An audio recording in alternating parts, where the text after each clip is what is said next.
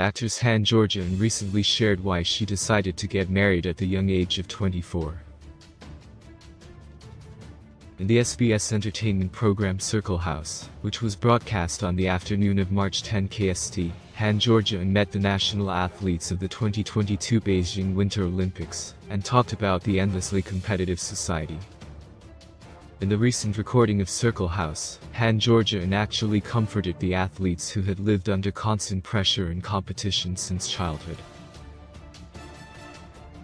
In particular, Han Ga In garnered attention when she revealed the reason why she suddenly chose to get married at the young age of 24 when she was about to start a career in the entertainment industry. She explained part of the reason was that there was competition in the entertainment industry as well.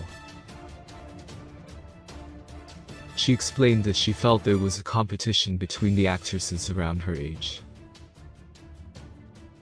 She explained, I didn't want to show them my defeat, and it was hard to get used to it. So I thought I should get married early and get out of the competition. Meanwhile, Han Ga In married back in 2005, when she was 24, and her husband Yeon Jung-hoon was 28. At that time, both of them were just starting their acting career, so they surprised the public with their sudden marriage news. After 11 years of marriage, they had their first daughter, and in 2019, they announced the birth of their second son.